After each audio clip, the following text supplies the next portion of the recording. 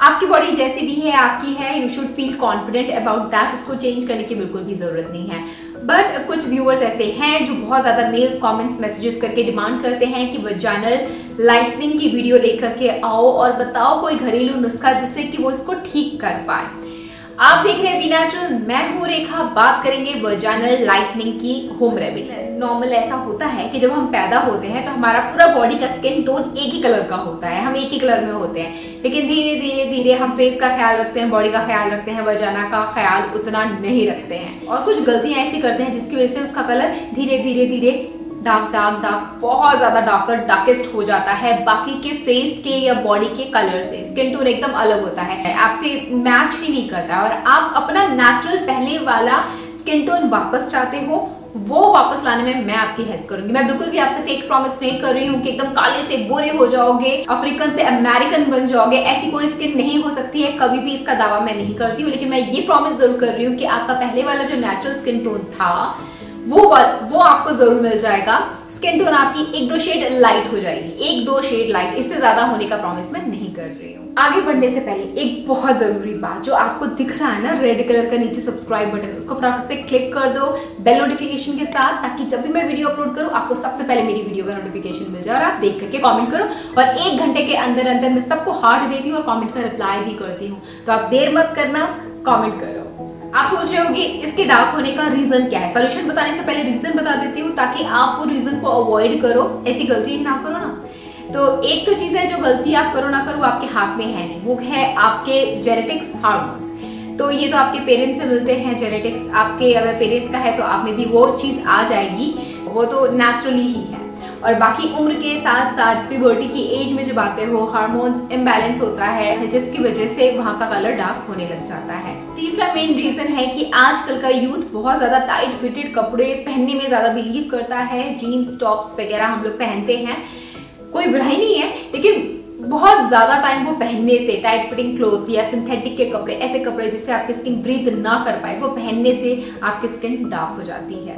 अगर आप अपनी वजाना के hair time to time trim नहीं करते हो, वहाँ की ग्रोथ बहुत ज़्यादा हो जाती है तो उसकी वजह से भी वहाँ बैक्टीरिया बिल्डअप हो जाता है, वहाँ पसीने आते हैं और पसीनों की वजह से वो एरिया काला हो जाता है। साथ ही साथ अगर बहुत ज़्यादा फ्रिक्शन हो रहा होता है, वो तो ऑफकोर्स होता ही है ना, आप चलते उठते बैठते कुछ काम करते हो तो आपके जांघों के बीच में फ्रिक्शन होता है और उस फ्रिक्शन की वजह से इनर थाइज में आपको पसीने आते हैं और कालापन आ जाता है। आपकी vagina lips inner thigh vagina के बाहर आसपास पसीने ना आ पाए। इसके लिए आप क्या करेंगे?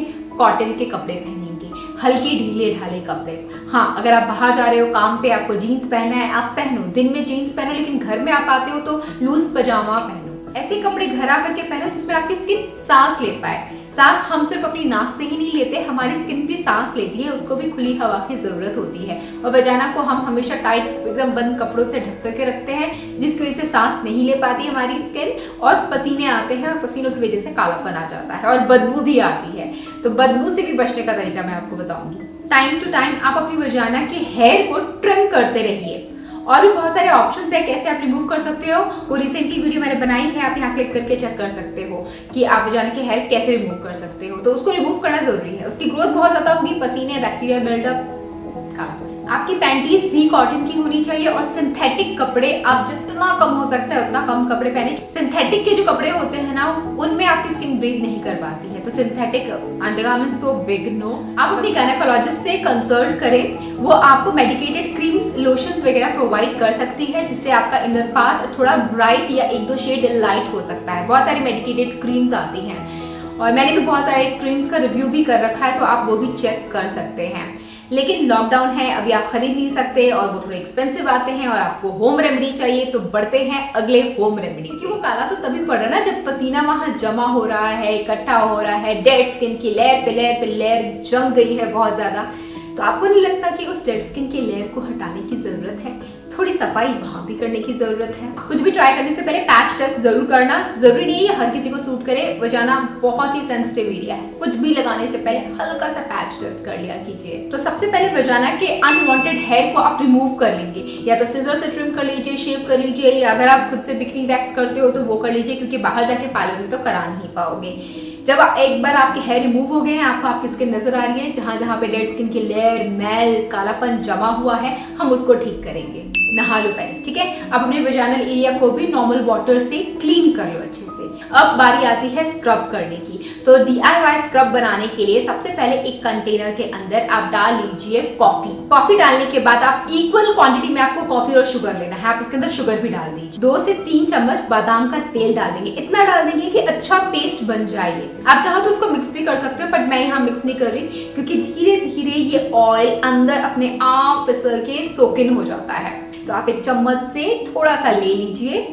और अपने हाथों से, हल्के हाथों से आप उसको स्क्रब करेंगे अपने वजानल एरिया पे देखो स्क्रब करते हुए आपको ध्यान देना है कि वजाना के अंदर नहीं करना, जो वजाना का वेट एरिया होता है, जो आपकी वजाना लिप्स होते हैं, उसके अंदर नहीं करना है। इनर थाई में, बाहर, बिकनी लाइन में, ऊपर, वहाँ करना है। हल्के हाथों से इनर थाई में आप ऐसे मसाज करेंगे। बहुत सारे लोग आपको बोलेंगे कोलगेट लगा लो बेकिंग सोडा पाउडर पता नहीं क्या क्या लगा लो। मैं ये ये सारी चीज़ें कभी अपनी स्किन पे नहीं लगाती हूँ, क्योंकि ये चीज़ें स्किन के लिए अच्छी नहीं है। सिर्फ़ एक दो मिनट के लिए आप हल्के हाथों से स्क्रब करेंगे और फिर पानी से उसको वॉश आउट कर देंगे। आप टच करके देखना, आपकी स्किन कितनी सॉफ्ट हो जाएगी।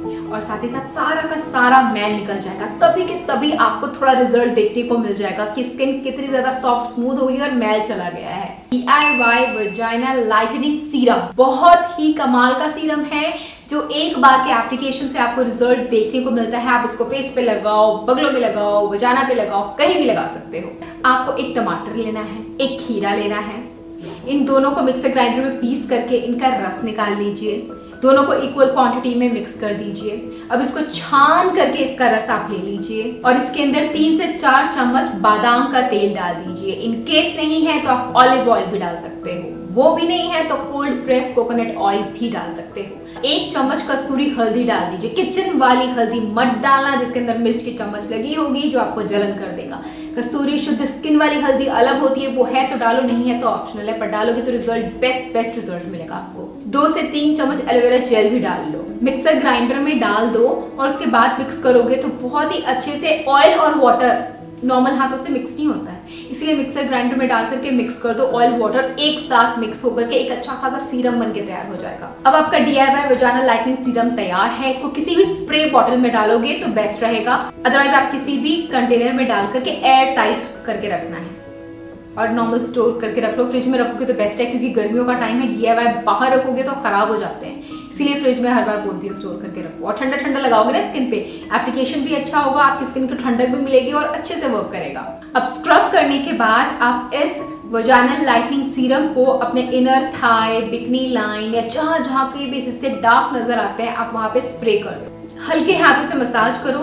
10 मिनट के लिए ऐसे ही छोड़ दो और 10 मिनट बाद और अच्छे से मसाज करो। तब तक मसाज करते रहो, जब तक वो स्किन के अंदर जज्ब ना हो जाए। आपकी स्किन सोख लेगी ऑयल क्यूकम्बर टोमेटो का वाटर बादाम का तेल, सब आपका स्किन सोख लेगा। और डीप डाउन पोर हो करके आपके स्किन में लाइटनिंग वाइटनिंग ब्राइटनिंग का काम करेगा। ब्लड सर्कुलेशन वहाँ का ठीक कर देगा डर्ट ग्राइम मैल सब हटा देगा। स्किन आपके कमाल की निखरी त्वचा हो जाएगी, बहुत सॉफ्ट हो जाएगी, अगर ये सारे मेथड्स आप फॉलो करते हो। तो हाँ मुझे पता है थोड़ा लेंथी प्रोसेस हो गया, थोड़ा टाइम लग गया इसमें। अब थोड़े टिप्स सुन लीजिए। स्क्रब आपको हफ़्ते में एक से दो बार करना है और ये डीएवएल लाइटिंग सीरम आपको डेली लगाना है। डेली मेरे बताए गए तरीके से लगाना है। तो आपकी वजाना के कलर में बहुत ज़्यादा डिफरेंस देखने को मिलेगा। बशर्ते लूज कपड़े पहना और बाकी के जो टिप्स मैंने दी हैं, वो भी आपको फॉलो करना होगा। और सबसे लास्ट मेन इंपॉर्टेंट चीज़, जैसा आप खाओगे, वैसे आप दिखोगे। Healthy fruits vegetable bright colour के जो फ्रूट्स होते हैं, जैसे कि ऑरेंज हो गया पपाया हो गया ये सारे स्ट्रॉबेरी हो गया, ये सारी चीज़ें बहुत ज़्यादा ब्राइट होती है देखने में, आँखों को अच्छी लगती हैं। वो स्किन के लिए भी बहुत ज़्यादा अच्छी होती है, चमक दे करके जाती है। तो ये सब खाओगे तो अपने आप, आपकी पूरी बॉडी का कलर अच्छा होने लग जाता है। दिन भर आपको पानी पीते रहना है, कम से कम तीन लीटर पानी ज़रूर पीजिए जूस पीजिए। और आपकी वजाना में से अगर स्मेल आती है तो स्मेल को दूर भगाने का एक यही रास्ता है वजानल हेयर को ट्रिम करते रहिए और दही ज़्यादा खाइए।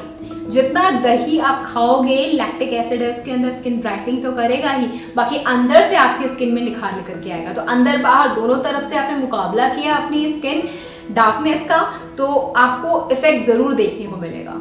और ये रेमेडी सिर्फ़ इसलिए नहीं है कि आपकी वजाना लाइट हो जाएगी। ये रेमेडी इसलिए भी है ताकि आप अपने आप को थोड़ा और स्वच्छ, साफ़ सुथरा, निखरा रख सको। आप फेस का इतना ध्यान रखते हो स्किन केयर इतना करते हो तो वो भी तो आप ही की स्किन है ना? तो थोड़ा उसको भी ध्यान दे तो थोड़ी उधर की मैल जो जम गई है, थोड़ी उसको भी साफ़ कर दो। आई थिंक ये हर लड़की को करना चाहिए। मैल तो साफ़ होना ही चाहिए ना बॉडी पे मैल किसको अच्छा लगता है? पर हम लोग ध्यान नहीं देते सो so गाइस ये थी मेरी वजाना लाइटनिंग की home remedy tips tricks follow कीजिएगा। मेरा ब्लॉग चैनल है मिस्टर एंड मिसेस प्रिंस उसको फॉलो ज़रूर कीजिएगा। अगर आप मेरे डेली रूटीन ब्लॉग्स देखना चाहते हैं, मेरे हस्बैंड के साथ, मैं आपसे फिर मिलूँगी एक और बेहतरीन एपिसोड में। तब तक के लिए बाय